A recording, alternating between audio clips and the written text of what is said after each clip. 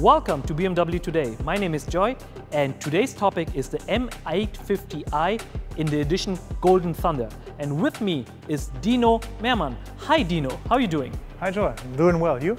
Good. What is your job?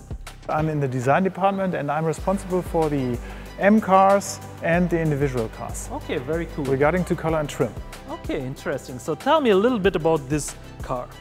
This is the M850 Special Edition Golden Thunder. This car was a special market requirement. Mm -hmm. The market wanted us to do a car which has uh, this luxury appeal but still looking subtle, evil and sporty. Okay. And for the customers who really want to have something very expressive. Okay, very interesting. So therefore you chose the frozen black color. Yes. Yes. Is there another possibility for the customer?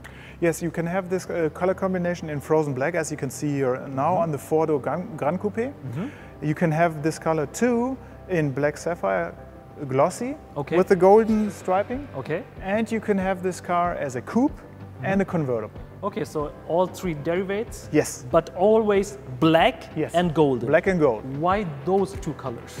We think uh, it's just a matter of looks. We think the car looks stunning as is. And with the golden striping, it gets this car a luxury appeal because in the European and American markets, mm -hmm.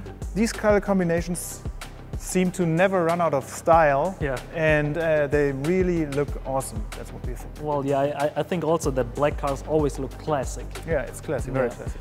Why did you choose this gold tone, one yeah, other another? Because we liked it the most, that's for sure. okay. And the other thing is, uh, uh, you, in the exterior of a car you have many of sensors and on the sensoring on the car, mm -hmm. colors could affect the sensing oh, yeah. properties of the car and uh, we don't want to have that so it has to go through certain tests and this color was also tested positively, okay. not to harm the sensing of the car. So you only have technical boundaries? only. It's okay, very cool.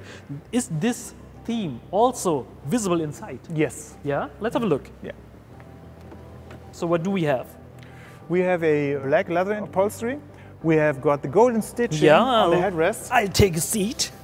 Okay, wow. And we have the golden anodized trim panels in the middle console, uh, front and rear. That's really cool.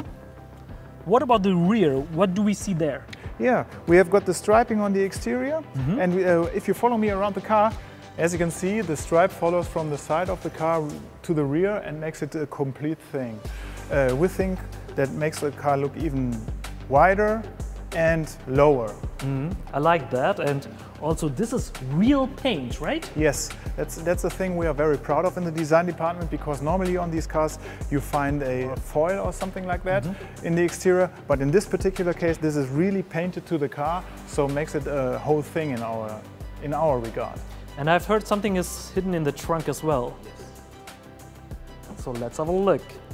Of course, two trolleys, one in black and the other one in the expressive golden color with the black M logo. So thank you very much for your time, Dino. Hope thank to you, see you soon again.